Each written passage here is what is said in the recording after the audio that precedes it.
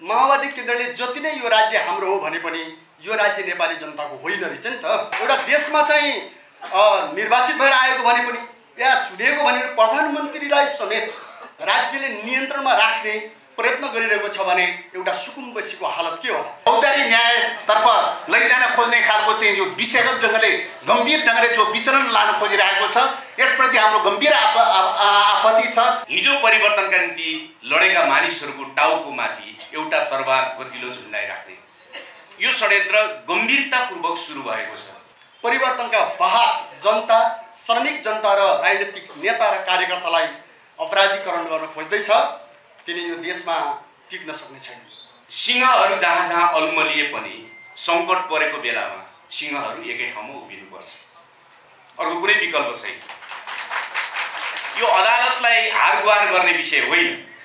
यो कुनै न्यायाधीशलाई जी प्रभु गर्ने विषय होइन। यो व्यवस्थाले ल्याएको अनिवार्य प्रतिगमनतिर लान खोजेको सङ्कटको अभिव्यक्ति हो।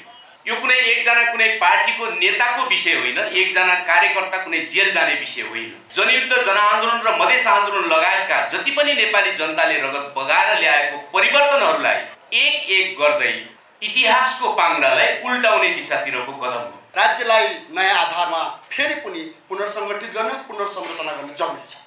यो राज्य नेपाली जनताको भइसकेको छैन। हामीले बनाउँदै थियौँ तर हाम्रो हातबाट खोसेर दलालहरू र विदेशी साम्राज्यवादीहरूले तिनका लठाइ त टट्टुहरूले कब्जा गर्ने कोसिस गर्दैछन् यहाँ अब युक्रेन बाहिरबाट होइन भित्रबाट हुन लाग्छ यदि यो आयोगलाई हामीले कार्यान्वयन गरेन भने यसलाई पन्छाएर अर्कै कुनै माध्यमबाट देशको एक्जिक्युटिभ पावर भएको प्रधानमन्त्रीमाथि मुद्दा लाग्नु भनेको जनतामाथि मुद्दा लाउने हो। के एमाले काङ्ग्रेसका स्यालहरूले जङ्गलमा बसेका माओवादीले यस्ता घमण्डी कुरा गर्ने भनेर भनिरहे सहरमा बसेका सुकिला मुखिलाले गणतन्त्र ल्यायो खै? धर्मनिर्वाचन ल्यायो खै? समानुपाती समावेशी ल्यायो खै? हामीलाई जवाब चाहियो। र संविधानले मार्गचित्र देखाएको सत्य निरूपण मेलमिलाप सम्बन्धी चाहिँ कानुन हो। सत्य निरूपण मेलमिलाप सम्बन्धी आएको त्यो प्रक्रियाबाट बढ्नुको सट्टामा अर्को दिशातर्फ विपरीत दिशातर्फ जान खोजिरहेको हुनाले कतै बृहत शान्ति समता उल्लङ्घन हुने त होइन भङ्ग हुने त होइन। जनतालाई गुमराह बनाउने देशलाई उल्टो दिशालाई जाने कुरा स्वीकार्य छैन। आज एकपछि अर्को माओवादीमाथि हमला होइन। आम नेपाली जनतामाथिको हमला हो महिलामाथिको हमला हो दलितमाथिको हमला हो जनजातिमाथिको हमला हो र नयाँ पुस्तामाथिको हमला हो। यो हमलालाई यसरी बुझ्छौँ। यही अनुसार हामी प्रतिवाद गर्न हामी उभिएका। दुश्मनलाई एउटा कान्छी औँला दिने हो भने उसले सिङ्गै हात निल्न खोज्दो रहेछ भन्ने कुराको शिक्षा पनि हामीले यो कुराबाट लिनुपर्दछ। हामी दुश्मनसँग सहमत हुँदै जान्छौँ र उसले हामीलाई काखमा राखेर रेड्दै जान्छ भन्ने कुरा पनि हामीले बुझ्नै पर्छ। नेपालको राज्यलाई जनताको हातमा नलिएसम्म उनीहरू कोही पनि सुरक्षित हुने स्थिति देखिँदैन। यहाँ अहिले प्रचण्ड कमरेडको कुरा होइन यहाँ माओवादीको कुरा होइन। यहाँ अहिले केवल हामी केही पार्टी यहाँ उपस्थित भएको पार्टीको मात्रै कुरा पनि होइन। यहाँ आज हामी देख्दैछौँ हेर्नुहोस्। होइन हाम्रा किसानहरू सडकमा फ्याँकिएका छन् आत्महत्या गरिरहेका छन्। नेपालका मध्यमवर्गीय व्यवसायीहरू आगो लगाएर मर्नुपर्ने परिस्थिति यहाँ बनाइँदैछ यसलाई समाधान गर्नका निम्ति एउटा फेरि अर्को एउटा क्रान्तिकारी कदम एउटा हस्तक्षेप हामी सबैसँग माग गरेको छ।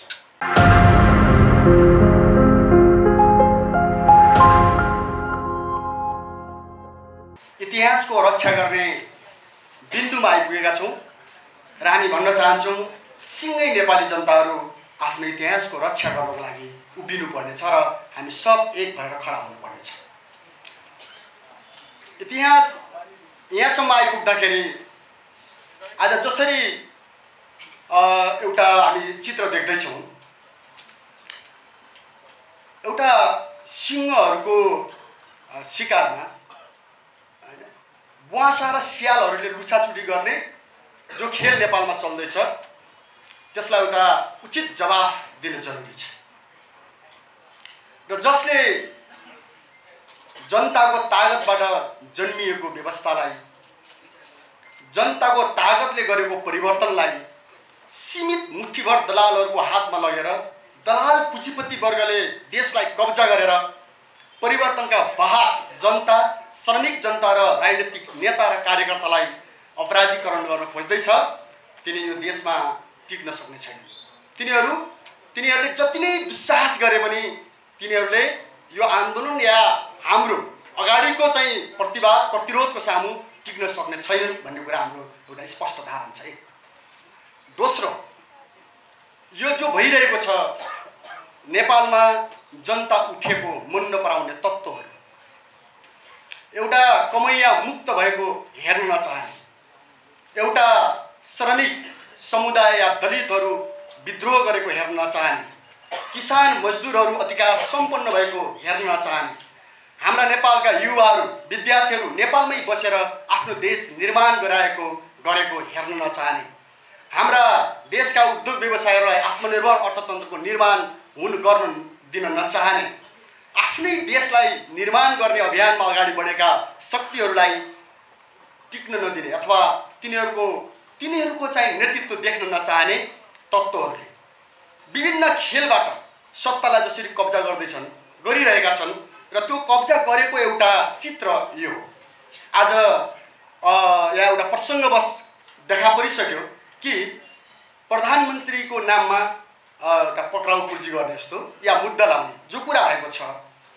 यसले के देखाउँछ त भन्दाखेरि माओवादी केन्द्रले जति नै यो राज्य हाम्रो हो भने पनि यो राज्य नेपाली जनताको होइन रहेछ नि त।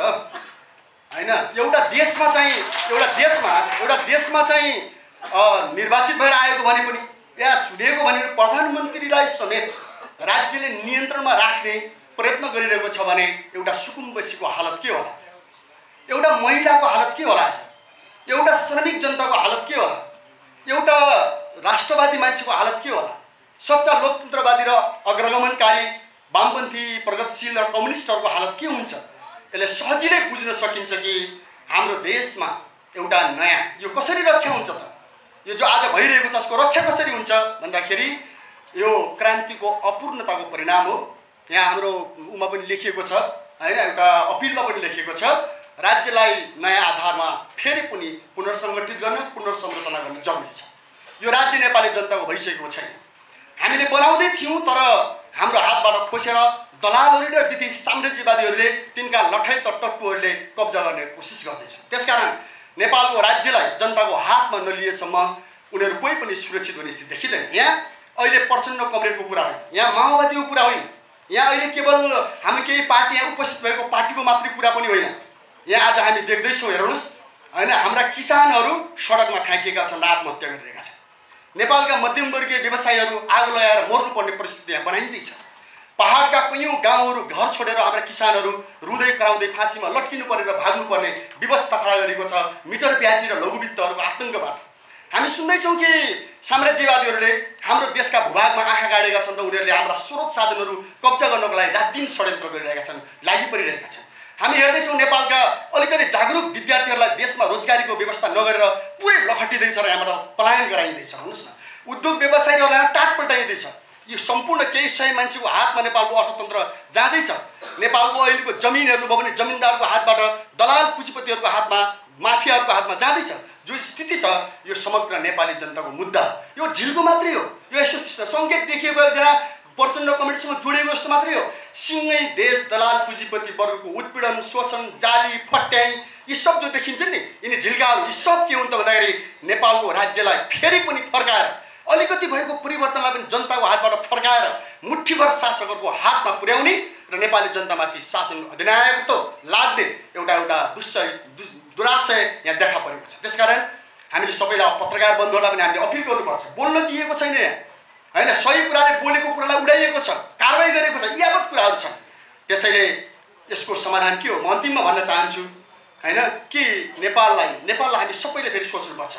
हरेक हरेक परिवर्तनपछि जनताहरू त्यसको त्यसको चाहिँ स्वामित्वमा जनताको हातमा आयो क्या त्यसको स्वामित्व। यो कुरा निर्णायक हुन्छ। त्यसले आज जनताहरू सन्तुष्ट छैनन् कोही पनि सन्तुष्ट देखिन्न यसको समाधान पछि हटेर होइन। हामी सडकमा सुन्छौँ यो परिवर्तनलाई पनि फर्काएर अझ पुरानै सडचालिस सालमा लाने हल्ला पनि चल्दैछ। त्यो कदापि स्वीकार हुन सक्दैन त्यो समाधान पनि होइन। यो समाधान भनेको संसदीय व्यवस्था दलाल पुँजीवादी व्यवस्थाले पनि थेग्न नसकेको नेपाली जनताको अपेक्षा चाहनालाई थेग्न नसकेको जो परिस्थिति हो यसलाई यहाँबाट पनि अग्रगामी परिवर्तन गरेर वैज्ञानिक समाजवादतिर लानुपर्छ भन्ने हाम्रो दृष्टिकोण छ। तर यहाँ मैले त्यतातिर लानु खोजेको होइन।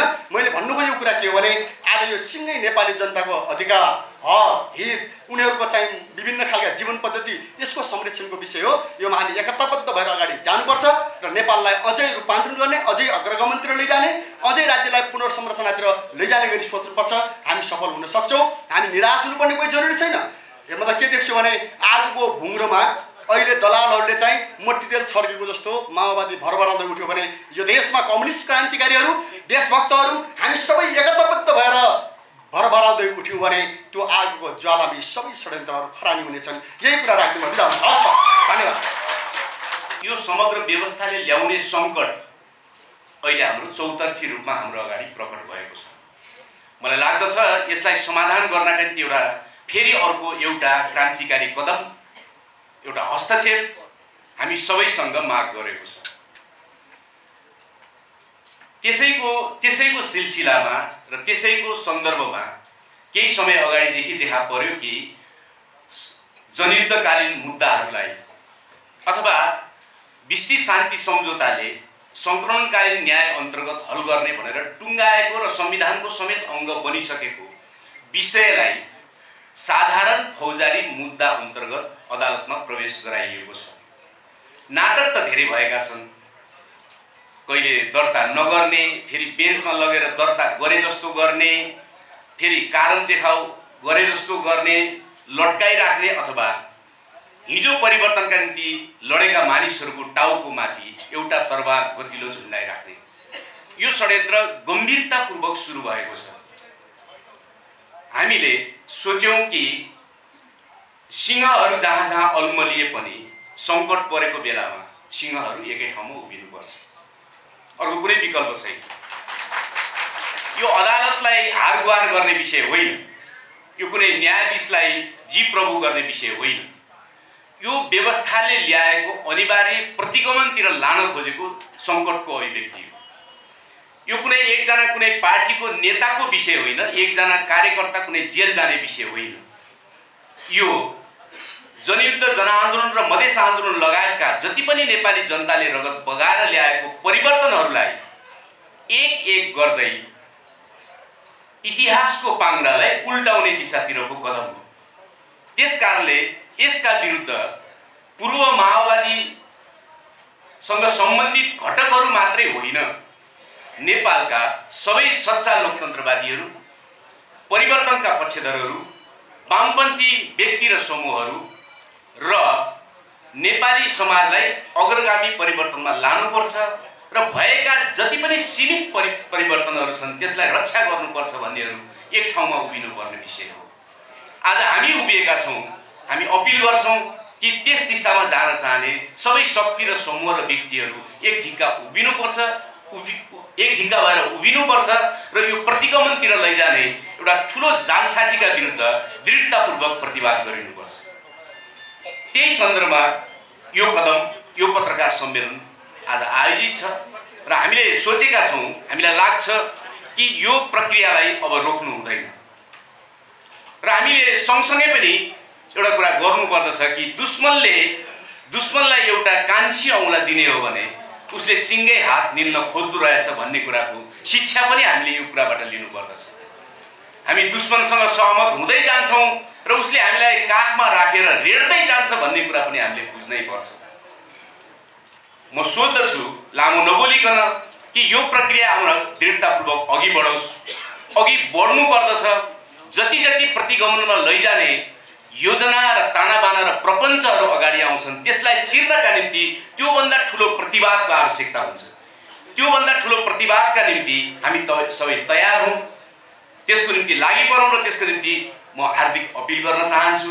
र अन्त्यमा मैले भन्ने यति मात्रै हो कि हाम्रा बिचमा थुप्रै मतभेदहरू छन्। हुन्छन् हुनु पनि पर्दछ। किनकि यो व्यक्तिसँग एउटा पार्टीसँग अर्को पार्टीसँगको सम्बन्धको विषय होइन। त्यो नेपाली समाजको परिवर्तनलाई कसरी अगाडि लाने कहाँनिर गल्ती भयो र कहाँनिर खराबी भयो भन्ने कुराको ठुलो सैद्धान्तिक छिनोफानोको विषय हाम्रो बिचमा छ।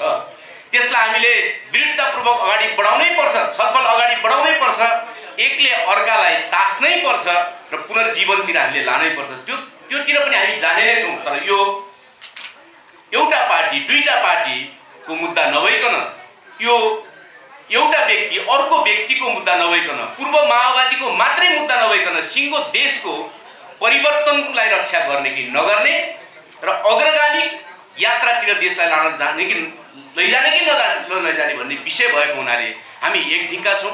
यो विषयमा र यो विषयमा सम्पूर्ण परिवर्तनका पक्षमा रहेका शक्तिहरू सडकमा समेत आउनुपर्दछ भन्ने हामी ठान्दछौँ। धन्यवाद। सर्वप्रथम त संयुक्त अपिल हामी यति बेला विस्तृत शान्ति सम्झौताको मर्म र भावना अनुसार शान्ति प्रक्रियाका बाँकी काम पुरा गर्ने चरणमा छौँ। सं सङ्कलनकालीन न्यायको सिद्धान्तद्वारा निर्देशित भई गत कालमा कानुन निर्माण गरी सत्य निरूपण तथा मेलमिलाप आयोग तथा बेपत्ता नागरिक छानबिन आयोग समेत गठन भई केही काम अगाडि बढेको तथ्य पनि सर्वविदितै छ। द्वन्द्वबाट पीडित नागरिक तथा उनीहरूका परिवारलाई न्याय दिलाउने सन्दर्भमा सम्मानित सर्वोच्च अदालतले विद्यमान कानुनमा सुधार गर्न दिएको निर्देशनमा पनि हाम्रो ध्यान गएको छ। देशमा तत्काल विद्यमान जातीय क्षेत्रीय लैङ्गिक वर्गीय लगायतका समस्याहरू समाधान गरी राज्यको अग्रगामी पुनर्संरचना गर्ने सङ्कल्पप्रति हामी तपसिलका पार्टीहरू सहमति सहमत छौँ। उपरोक्त सन्दर्भमा अविलम्ब आवश्यक कानुन बनाई शान्ति प्रक्रियाका बाँकी काम पुरा गर्न हामी सरकारसँग विशेष अपिल गर्दछौँ। विस्तृत शान्ति सम्झौता र त्यसलाई आफ्नो अभिन्न अङ्ग मानेको नेपालको संविधानले द्वन्द्वकालीन घटनाहरूको निरूपण गर्ने जिम्मेवारी सत्य निरूपण तथा मेलमिलाप आयोगलाई दिएको छ। यो ऐतिहासिक सन्दर्भ र संवैधानिक व्यवस्थाभन्दा बाहिर जानु शान्ति सम्झौताका विरुद्ध हुने तथ्य पनि स्पष्ट छ। केही समय यता सङ्कलनकालीन न्यायका सम्बन्धमा चलिरहेका चर्चाहरूप्रति हाम्रो गम्भीर ध्यान आकर्षण भएको छ। सङ्कलनकालीन न्यायसँग सम्बन्धित द्वन्द्वकालका सबै मुद्दाहरू सत्य निरूपण तथा मेलमिलाप आयोगको क्षेत्राधिकारभित्र पर्ने कुरा पनि सुस्पष्ट रहेको छ। अत हामी तपसिलका राजनीतिक दलहरू एकातर्फ कानुन परिमार्जनसहित आयोगलाई पूर्णता दिई शान्ति प्रक्रियाका बाँकी काम यथाशीघ्र पुरा गर्न सरकारसँग माग गर्दछौँ भने अर्कोतर्फ विस्तृत शान्ति सम्झौताका पक्षधर सम्पूर्ण राजनीतिक दल नागरिक समाज एवं आम जनसमुदायलाई सङ्कलनकालीन न्यायका पक्षमा ऐक्यबद्धताका लागि हार्दिक अपिल गर्दछौँ।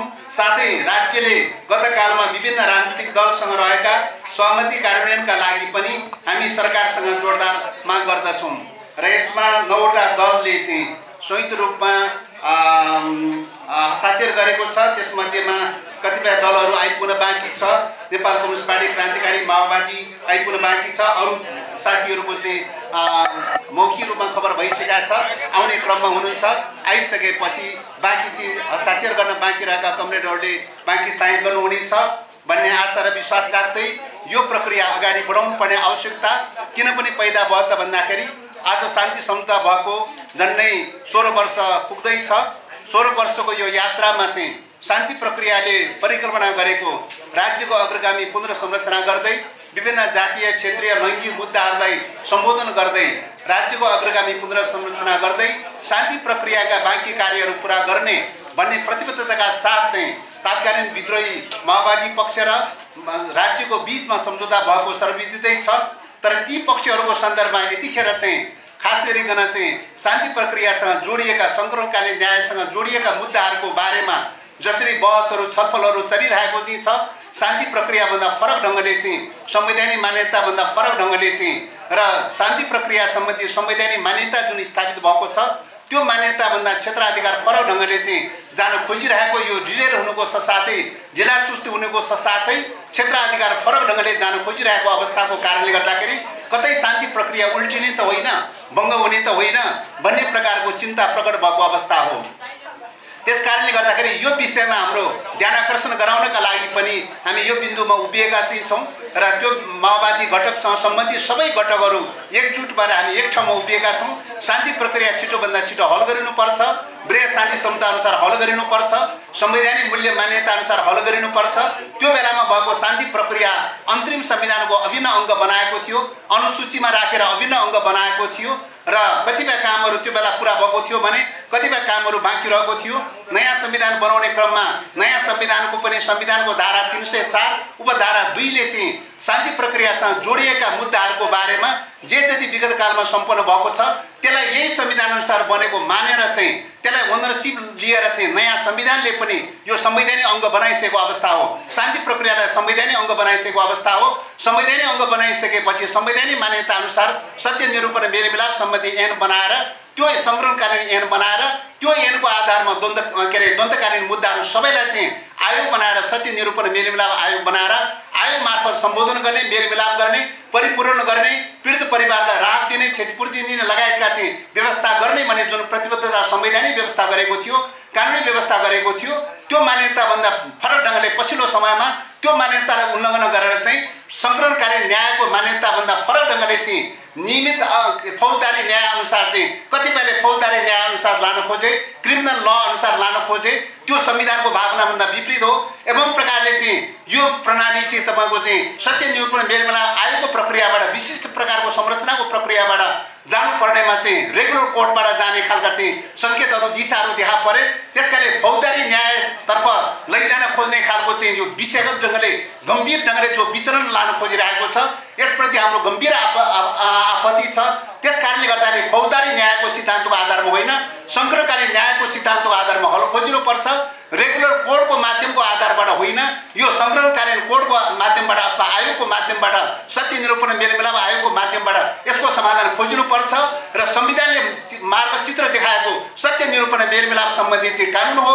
सत्य निरूपण मेलमिलाप सम्बन्धी आयोग हो त्यो प्रक्रियाबाट अगाडि बढ्नुको सट्टामा अर्को दिशातर्फ विपरीत दिशातर्फ जान खोजिरहेको हुनाले कतै शान्ति सम्झौता उल्लङ्घन हुने त होइन भङ्ग हुने त होइन भन्ने प्रकारको गम्भीर चिन्ता प्रकट भएको हुनाले चाहिँ यो अवस्थामा हामी माओवादी घटकसँग सम्बन्धित सबै घटकहरू एक ठाउँमा उभिएर यो विषयमा निरन्तरताका साथ खबरदारी गर्दै सजग गराउँदै सचेत गराउँदै र शान्ति प्रक्रियाको पक्षमा दृढतापूर्वक उभिँदै यो छिटोभन्दा छिटो हल गरिनुपर्छ। राज्यको तर्फबाट ऐन बनाउनु पर्ने प्रक्रिया छिटो हल गरिनुपर्छ भन्ने माग राख्दै त्योबाट अगाडि बढिरहेको छ। यस क्रममा राज्यको तर्फबाट ऐन बनाउने प्रक्रियामा सदनमा चाहिँ पछिल्लो समयमा अदालतले आदेश गरे अनुसारको चाहिँ विधेयक सदनमा पुगेको छ। सदनमा विगत कालमै पुरा गरिसक्ने अवस्था थियो। तर पटक पटक चाहिँ दलहरूको बिचमा सहमति नभइकन यो प्रक्रिया अगाडि बढ्न सकेन। दलहरू बिचमा सहमति गर्ने क्रममा लगातारले अहिलेसम्म जे जति अवरो- अवरोध पैदा भयो। दलहरूको बिचमा सहमति हुनुपर्नेमा विडम्बनाको विषय भनौँ नेकपा एमालेको नेतृत्वले यो शान्ति प्रक्रिया सम्बन्धी विषयमा टुङ्ग्याउनलाई चाहिँ हर हमेसा लगातारले नकारात्मक खालको धारणा रहँदै आयो। पछिल्लो समयमा विधेयक अन्तिम समय पुगेको सन्दर्भमा पनि उहाँहरूको नकारात्मक धारणाको कारणले गर्दाखेरि त्यो डेडलक भएर अड्किरहेको अवस्था छ। त्यस कारणले यो प्रक्रिया पुरा गर्ने प्रक्रियामा दलहरूको बिचमा सहमति जुट्न नसकेको विशेष गरी नेकपा एमालेको सहमति जुट्न नसकेको कारणले गर्दाखेरि यो डेडलकबाट अड्किरहेको छ।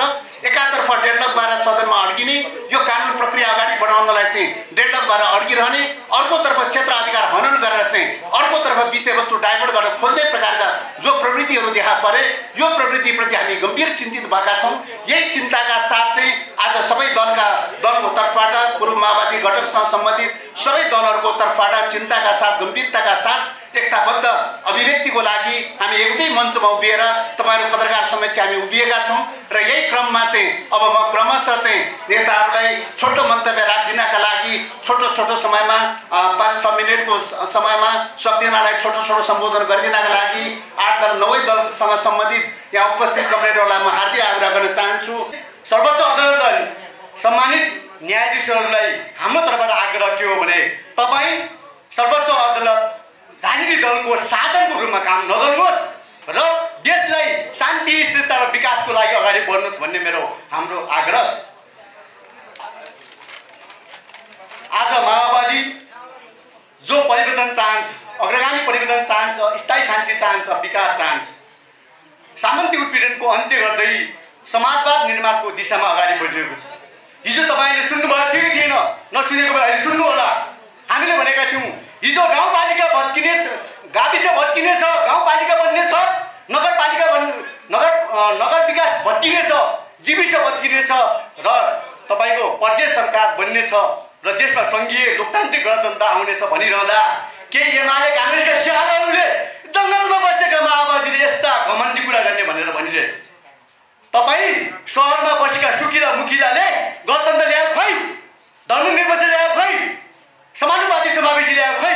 हामीलाई जवाब चाहियो। आज यो देशलाई युक्रेनको दिशामा लिन खोजिरहनु भएको छ। आज युक्रेनमा मिसाइल हजारौँ मिसाइल पठाइएको छ। एउटा मिसाइलको बिस लाख डलर पर्छ। माओवादीहरू नमिलुन् भन्न चाहन्छ। विदेशी शक्तिहरूले माओवादी नमिलुन् भन्न चाहन्छ।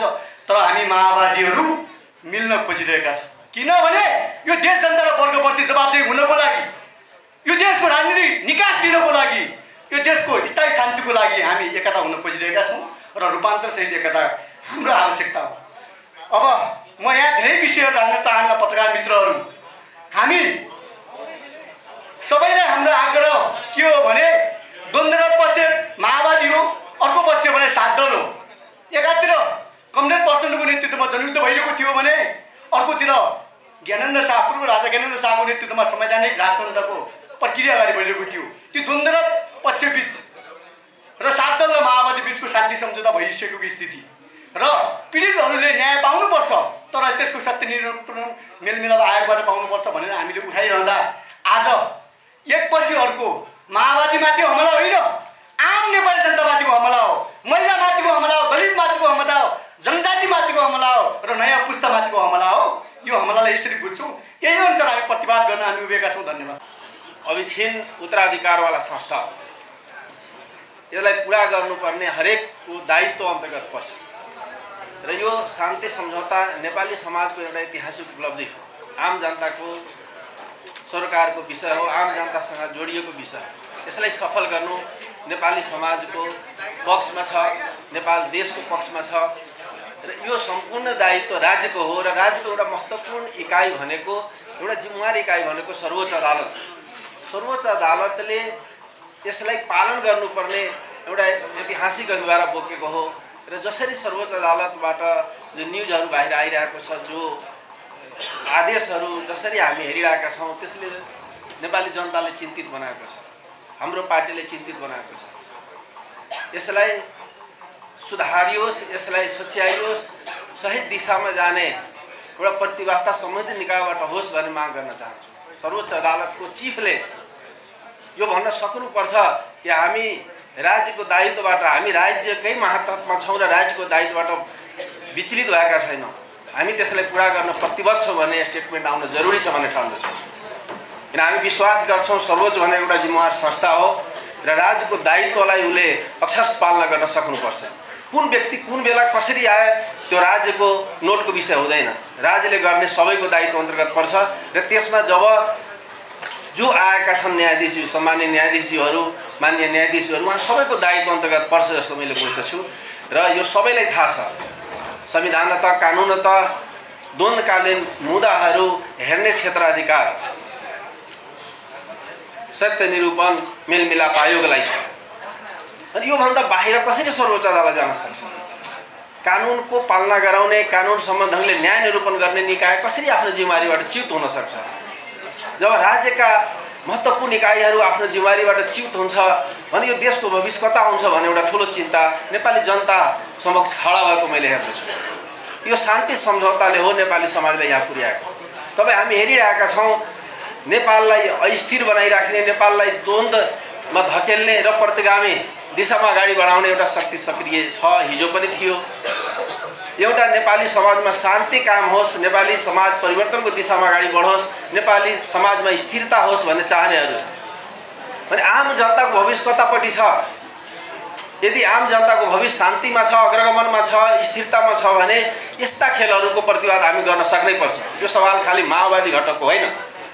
नेपाली समाजको उन्नति प्रगति चाहने नेपाली समाजलाई एउटा सफल समाज नेपाल देशलाई एउटा सफल देश बनाउन चाहने जसको पनि यो दायित्व पर्छ भन्ने लाग्छ।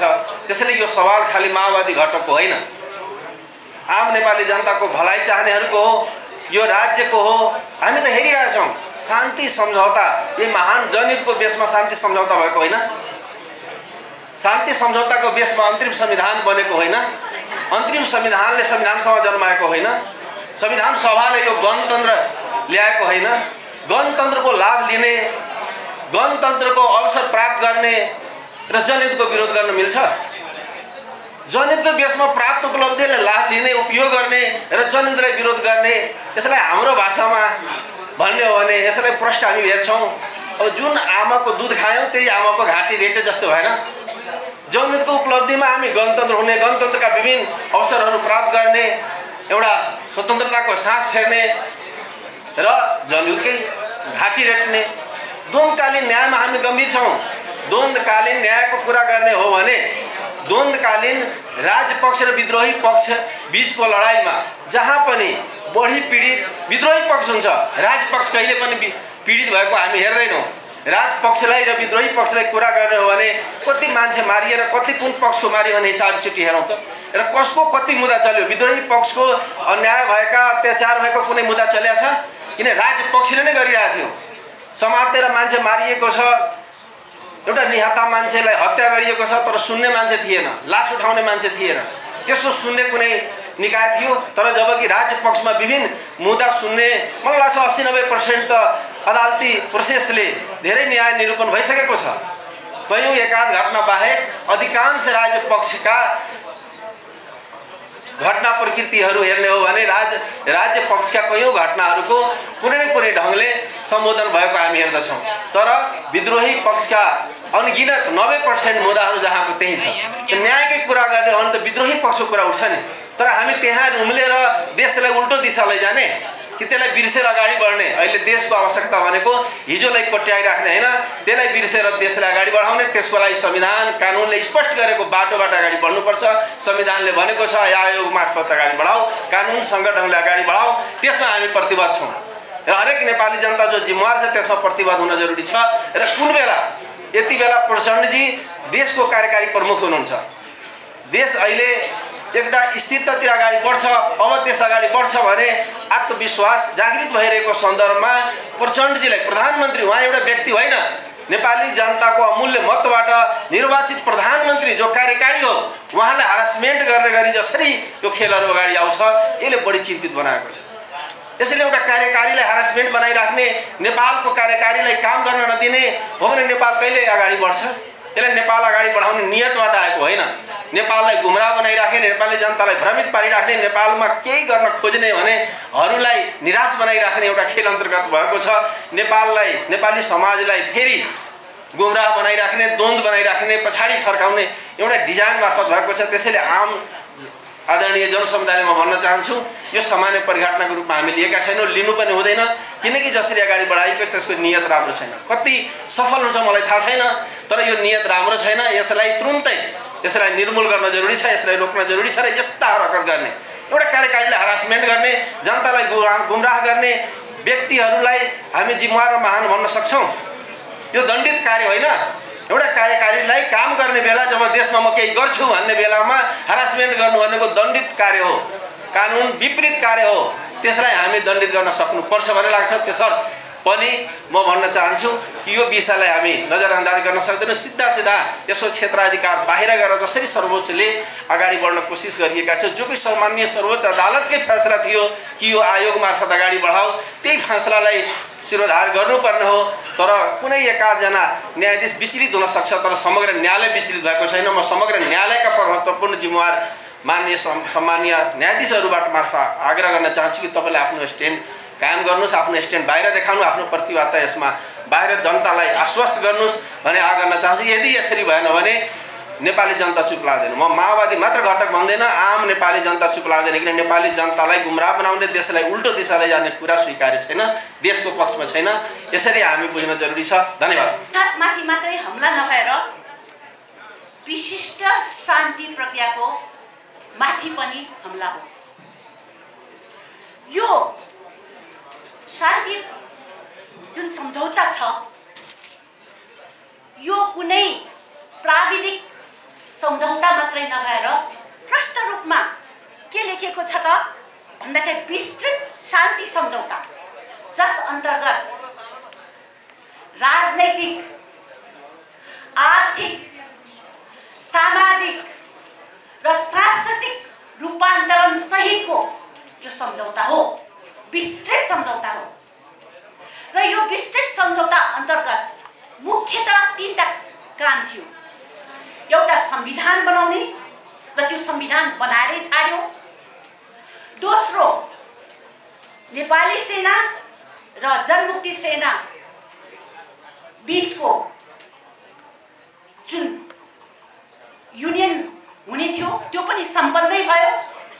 अब बाँकी रहेको भनेको यही। द्वन्द्वकालीन मुद्दाहरूलाई सम्बोधन गर्ने गरिकन यो टिआरसी र बेपत्ता सम्बन्धी आ आयोगले गर्नुपर्ने काम यही मात्रै बाँकी रह्यो। र यो काम यतिखेरै किन इम्पोर्टेन्ट छ त? भन्दाखेरि अहिले विश्व नै कोभिडबाट भर्खर भर्खर उठेको बेलामा आर्थिक मन्दी भइरहेको बेलामा। यो क्षेत्र विश्वका शक्तिशाली देशहरूको एउटा सकेन्द्रित क्षेत्र हुँदै गइरहेको स्थितिमा नेपाल विशेष गरेर मूलत दुई विचारधाराको बिचमा परेको यो देश। यहाँ अब युक्रेन बाहिरबाट होइन भित्रबाट हुन लाग्छ यदि यो आयोगलाई हामीले कार्यान्वयन गरेन भने यसलाई पन्छाएर अर्कै कुनै माध्यमबाट देशको एक्जिक्युटिभ पावर भएको प्रधानमन्त्रीमाथि मुद्दा लाग्नु भनेको जनतामाथि मुद्दा लाउने हो परिवर्तनमाथि मुद्दा लाउने हो। र म के भन्न चाहन्छु त भन्दाखेरि यो अहिले संविधानको विषय पनि बनिसक्यो। किन म यो भनिरहेको छु त भन्दाखेरि यो संविधान आखिर केमा टेकेर आएको त? अन्तरिम संविधानबाट टेकेर आएको हो। अन्तरिम संविधानको भाग चार खमा प्रष्ट रूपमा यो सत्य निरूपण आयोगको मेन्सन गरेको छ। र यो संविधानले त अब हिजोको सात दल हिजोको सरकार हिजोको राज्य सत्ता राज्य सत्ता भनेपछि यहाँ जनमुक्ति सेनाको मात्रै कुरा नभएर नेपाली सेनाको पनि कुरा आयो। यहाँ राज्य सत्ता किन भनिरहेको छ भने यहाँ जुडिसियल पनि यहाँ इन्भल्भ छ किनभने मानव अधिकारको कुरालाई पनि यहाँ चाहिँ संरक्षण गर्नुपर्ने भन्ने आइरहेछ। जुडिसियल कुरा पनि आउँछ। यो सरकारको विषय मात्रै होइन। यो राज्य सत्ताको विषय हो। यो नेपालको विषय हो।